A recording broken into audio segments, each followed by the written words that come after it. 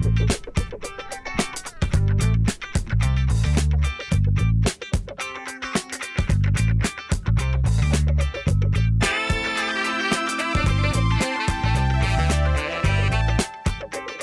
it.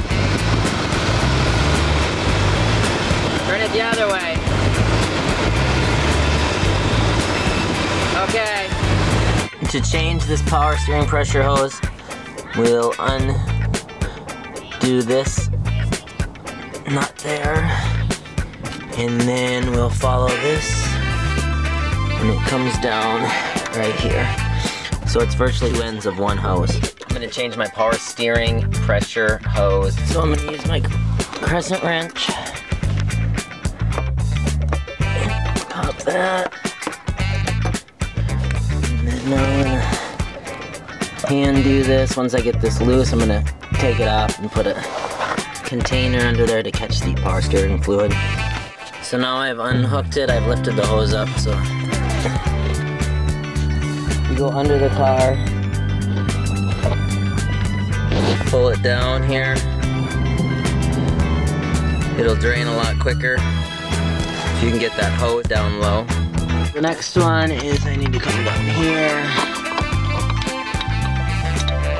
on the back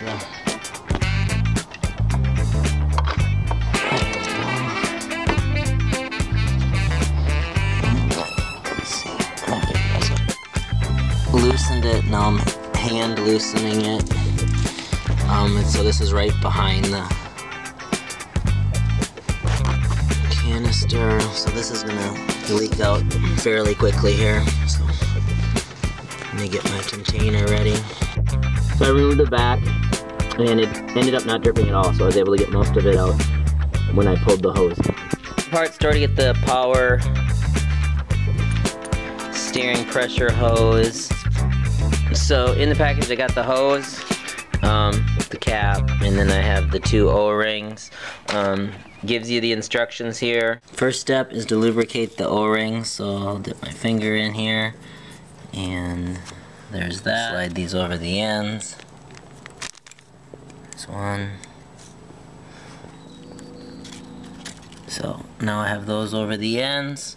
Now when I install this, I'm to try to follow the same pattern as before. So I'm to find my hole here. You can see right here is where we're going to screw this into.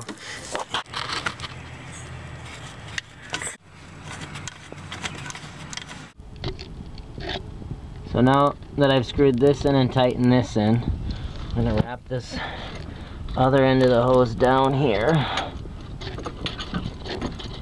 Bring this around. Here. You can see the slot right there. And I'll tighten this one. Now what I'm to do is tighten these down with the crescent wrench.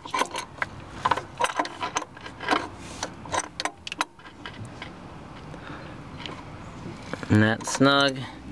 I'll come down to this one. And this one I'm going to tighten from below.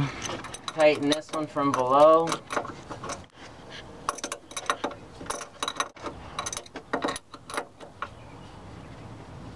And don't over tighten it. And that one's tight. And we're done. You can see how dirty this power steering fluid is here. Dispose of this appropriately refill it with clean power steering fluid. Take this off, put in my power steering fluid.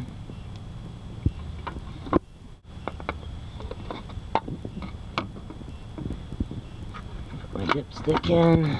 Just after putting in your fluid, check your dipstick to make sure it's leveled out and where you want it. After just changing it, your power steering might be tight. If it is, the power steering fluid level has actually gone down as it filled up the tube, so I'll just top it off here.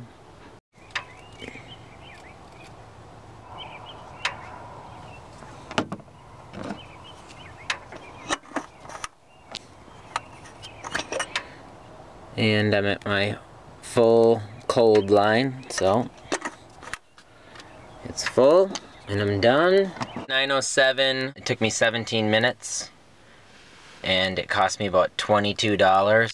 Probably buying the parts and everything, I'm into it for about an hour's worth of time.